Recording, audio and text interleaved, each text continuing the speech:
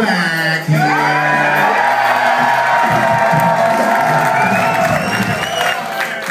I know it's not the cat's cradle or anything like that, but you know. Oh, is that that bad? Is it really that bad?